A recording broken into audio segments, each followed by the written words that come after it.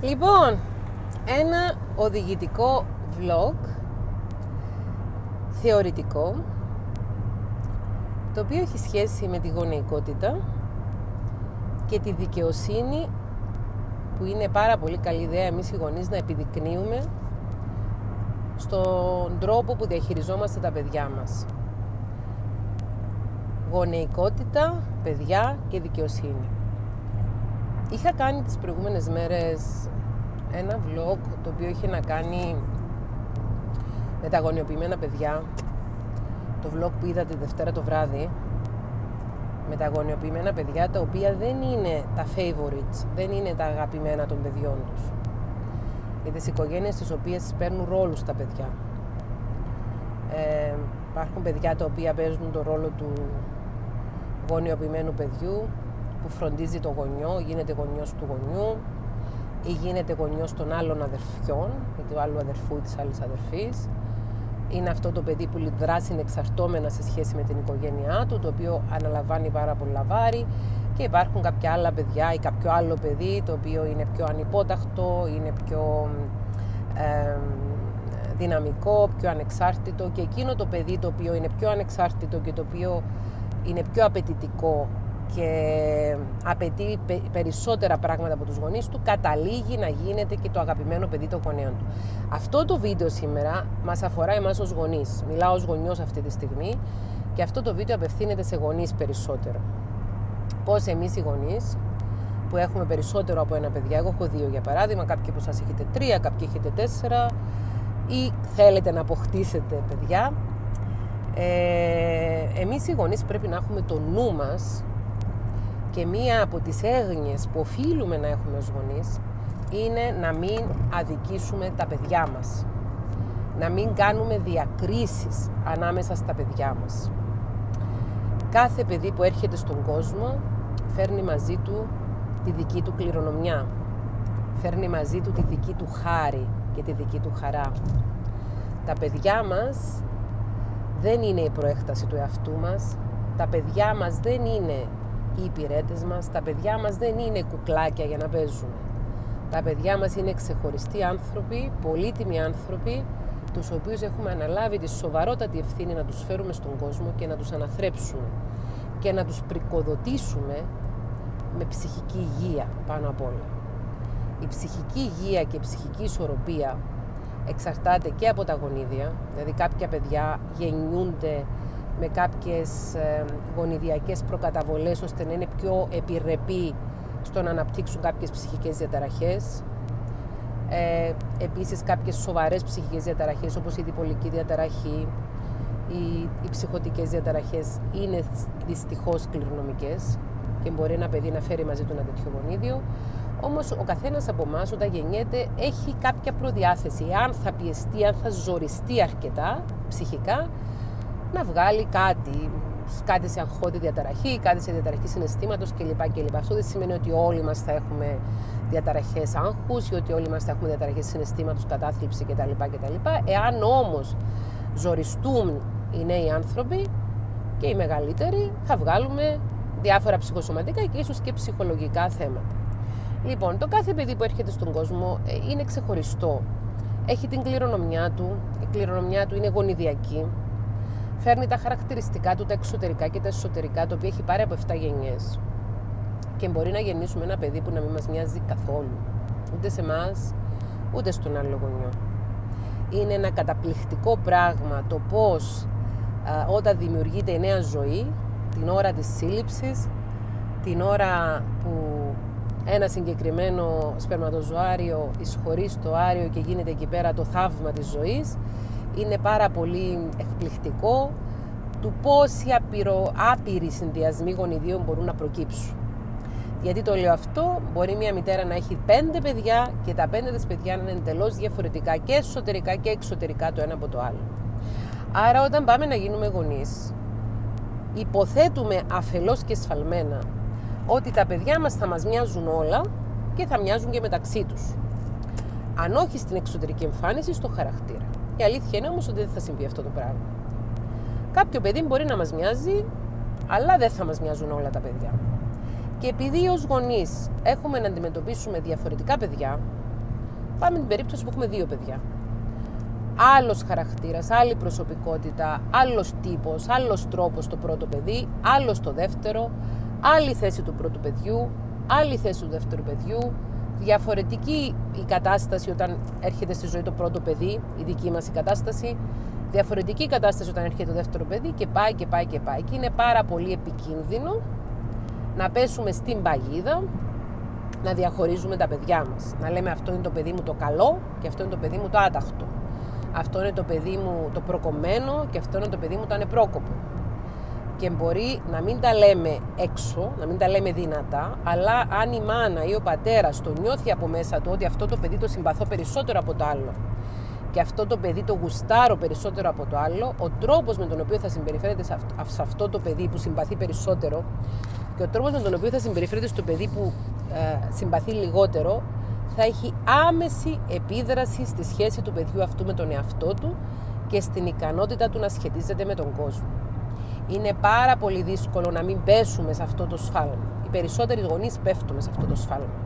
Χρειάζεται να είμαστε εξαιρετικά προσεκτικοί, να αναλύουμε συνεχώς τη στάση μας και τη συμπεριφορά μας και να λέμε μήπως αδικό κάποιο παιδί μου, μήπως ένα από τα παιδιά μου το έχω σε ψηλότερη θέση από τα υπόλοιπα; Και αδικίες μπορεί να γίνουν σε πολλά επίπεδα. Ένα σύνηθες επίπεδο αδικίας είναι να έχεις ένα παιδί το οποίο έχει κάποιες αδυναμίες, μπορεί να έχει κάποια αναπτυξιακή διαταραχή, μπορεί να είναι εκφύσεως πιο ζωηρό, μπορεί να έχει ε, εκφύσεως πιο αδύνατο χαρακτήρα, να είναι πιο αδύναμο παιδί και ο γονιός να δώσει περισσότερη προσοχή στο παιδί που είτε έχει κάποια σωματική είτε έχει κάποια αναπτυξιακή διαταραχή, ένα παιδί, το παιδί που έχει ανάγκη και να παραμιλήσει το παιδί εκείνο το οποίο είναι υγιέστερο ψυχικά και σωματικά. Και μεγαλώνοντας εκείνο το παιδί το οποίο για παράδειγμα έχει γεννηθεί με μια σωματική αναπηρία, μεγαλώνοντας το παιδί με τη σωματική αναπηρία να έχει πολύ καλύτερη σχέση με τον εαυτό του και τους γονείς του παρά το παιδί το οποίο γεννήθηκε σε μια οικογένεια που ήταν το υγιέ παιδί και το άλλο παιδί ήταν το άρρωστο. Αυτό το έχω δει πάρα πολλές φορές να συμβαίνει. Δουλεύοντας σε κάποια φάση είχα συνεργαστεί και με το Σύνδεσμο Γονέων Παιδιών με σύνδρομο Down Βορείου Ελλάδος όταν ήμουν φοιτητρία στη Θεσσαλονίκη και στη συνέχεια στην Κύπρο με το Σύνδεσμο Γονέων Παιδιών με σύνδρομο Down Κύπρου Μιλάμε τώρα για πριν 17 χρόνια, ε.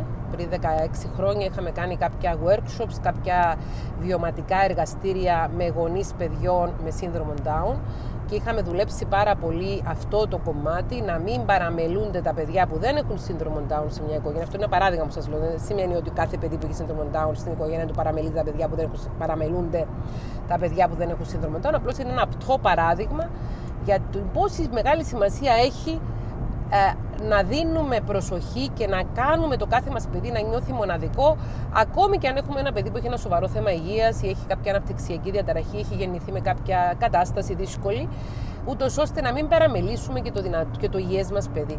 Και αυτό συμβαίνει και με χαρακτήρες. Αυτό που λέμε δυνατός χαρακτήρας και αδύνατος χαρακτήρας. Δηλαδή έχει παιδιά που έχουν ψηλή ψυχική ανθεκτικότητα και παιδιά που δεν έχουν ε, resilience, δεν έχουν ψυχική ανθεκτικότητα και βλέπεις ότι οι γονείς στηρίζουν και υποστηρίζουν το παιδί με χαμηλή ψυχική ανθεκτικότητα και αφήνουν το παιδί το οποίο έχει γεννηθεί με υψηλή ψυχική ανθεκτικότητα, το αφήνουν χωρίς την απαραίτητη αγάπη, φροντίδα και νιάξιμο.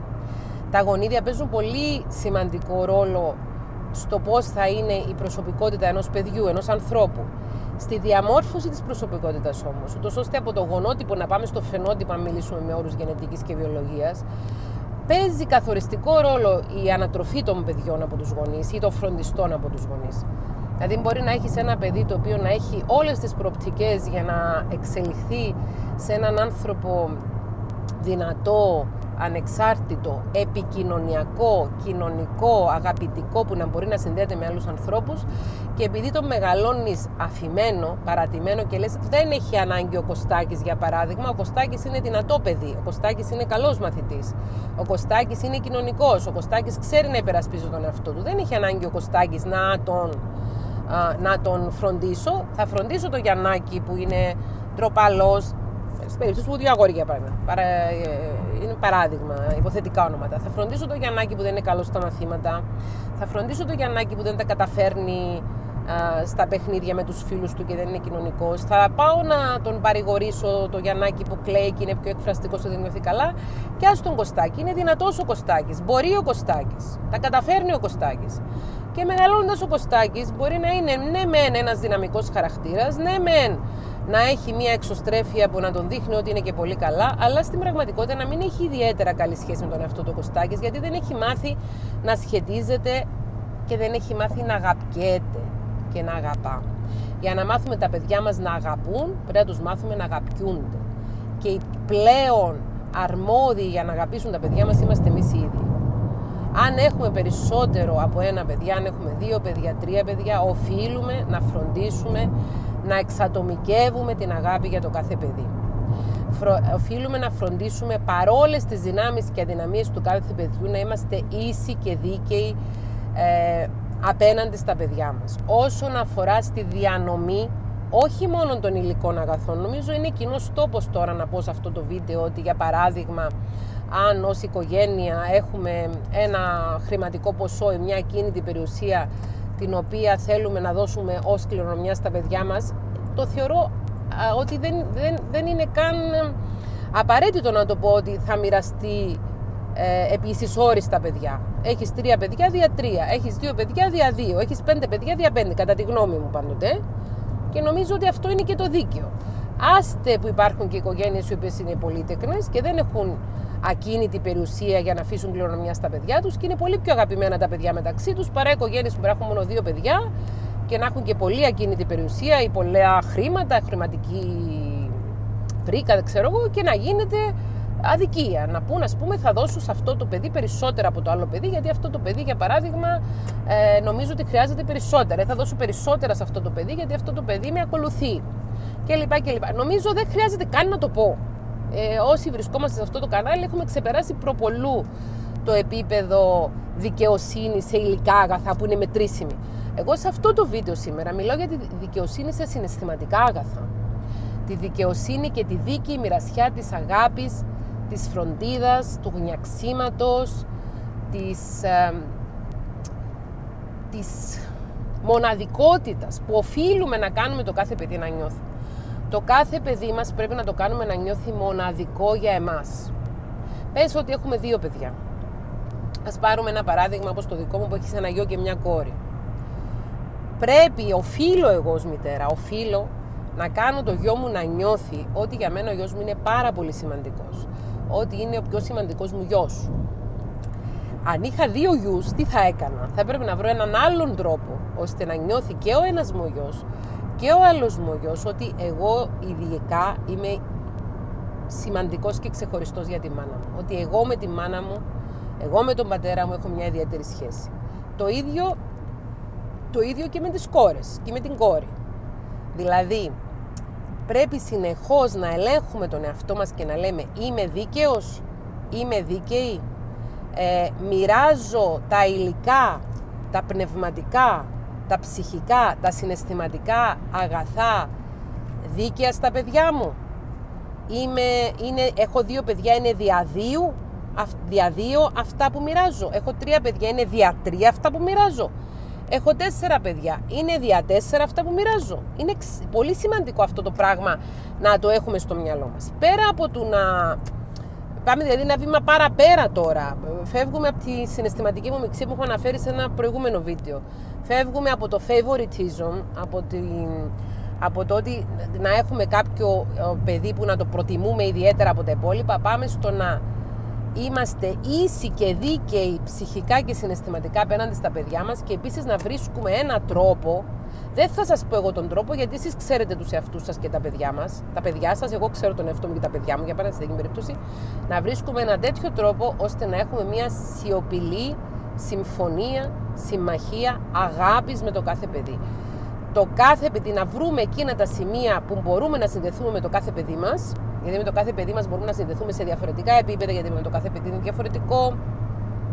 Το, το κάθε παιδί έχει διαφορετικό χαρακτήρα, το κάθε παιδί έχει διαφορετική προσωπικότητα, το κάθε παιδί έχει διαφορετικά στοιχεία στο χαρακτήρα του, στην προσωπικότητα του. Να βρούμε με το κάθε παιδί μας εκείνο το στοιχείο το οποίο θα μας βοηθήσει να συνδεθούμε με το παιδί μας εκείνο και να φροντίσουμε να συνδεθούμε με το παιδί μας.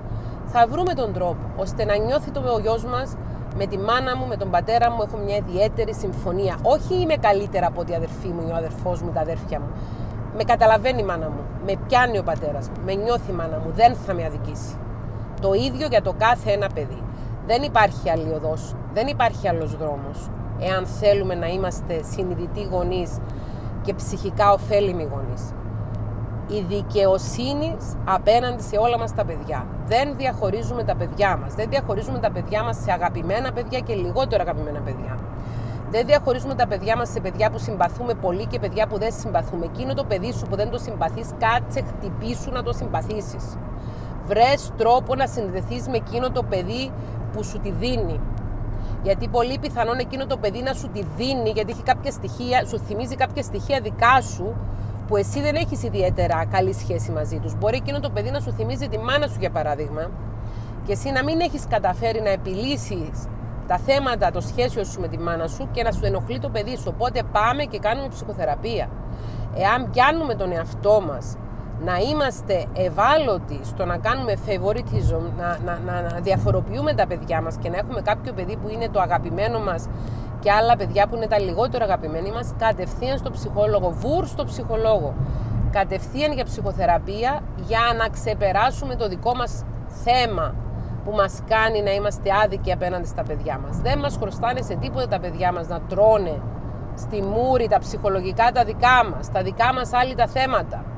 Για παράδειγμα, έχω δει περιπτώσεις που μπορεί τα παιδιά σε μια οικογένεια να έχουν καλές σχέσεις με τη μια γιαγιά, με τον ένα παππού, με τον ένα γονιό, όπως είναι η γονική αποξένωση. Και να τα βάζει μαζί του άλλος γονιός, γιατί να τα πηγαίνεις καλά με τον πεθερό μου, γιατί να τα πηγαίνεις καλά με την πεθερά μου ή με τον πρώην πεθερό με την πρώην πεθερά μου, γιατί, να πηγαίνεις, γιατί δεν τα πηγαίνεις καλά με τον πρώην άνδρα μου που είναι πατέρας σου, με την πρώην γυναίκα μου που είναι μητέρα σου και να γίνονται τεράστιες ζημιές ανάμεσα στα παιδιά. Αυτό όμως δεν συμβαίνει μόνο σε ζευγάρια που έχουν χωρίσει. Δυστυχώς συμβαίνουν και σε ζευγάρια που δεν έχουν χωρίσει. Οφείλουμε όταν θέλουμε να γίνουμε γονείς, οφείλουμε να είμαστε συνεχώς σε ετοιμότητα. Όταν μπεις στη διαδικασία του να γίνεις γονιός, είναι σαν να και ε, κάνεις αίτηση για να τρέξεις στο, στο ράλι. Οφείλεις το αυτοκίνητο σου, που είναι το εργαλείο σου για να τρέξεις στο ράλι, να το έχεις σε άριστη κατάσταση, να είναι ε, καινούρια τα λάστιχα του, καινούρια τα ελαστικά του, να, είναι, να έχουν γίνει όλες οι οι απαραίτητες επιδιορθώσεις στη, στη μηχανή κλπ. Και, και, και να το έχεις έτοιμο πόλεμο. Το ίδιο και με τη γονεϊκότητα. Θέλεις να γίνεις γονιός πρέπει να είσαι έτοιμο πόλεμος. Πρέπει να είσαι ψυχοψαγμένος ήδη. Πρέπει να είσαι έτοιμος ανα πάσα στιγμή που νιώθεις ότι δεν μπορείς να επιτελέσεις το ρόλο σου με τη δικαιοσύνη και με την αχ, πώς να το πω, με τη δικαιοσύνη και με την, με την ισότητα και την ε, σοφία και την πνευματικότητα που αναμένεται από εσένα να έχεις το θάρρος να πας στο ψυχολόγο, να καθίσεις στο διβάνι του ψυχολόγου, να καθίσεις στον καναπέ του ψυχολόγου και να πεις βοήθησέ με. Βοήθησέ με να μπορέσω να αγαπήσω όλα μου τα παιδιά το ίδιο. Βοήθησέ με να μπορέσω να στηρίξω όλα μου τα παιδιά το ίδιο. Βοήθησέ με να είμαι δίκαιος με όλα μου τα παιδιά. Για όσους ενδιαφέρεστε για διάβασμα σε σχέση με τη γονεϊκότητα, έχω γράψει ένα βιβλίο, όσοι από εσάς δεν το έχετε διαβάσει, ε, με τίτλο «Χαρούμενη μεμά, χαρούμενα παιδιά». Ένας ανορθόδοξος οδηγός γονεϊκότητας, το οποίο κυκλοφορεί από τις εκδόσεις ψυχογειός και σε εκείνο το βιβλίο μπορείτε να βρείτε περισσότερες πληροφορίες σε σχέση με τις απόψεις μου ως ψυχολόγου και τις ε, διαπιστώσεις μου ως ε, ανθρώπου που έχω εργαστεί για πολλά χρόνια με ανθρώπους ιδιωτικά στο γραφείο για το πώς είναι καλύτερα να διαχειριζόμαστε την ανατροφή των παιδιών μας. Σας θέλω την αγάπη μου. Γεια σας! Bye.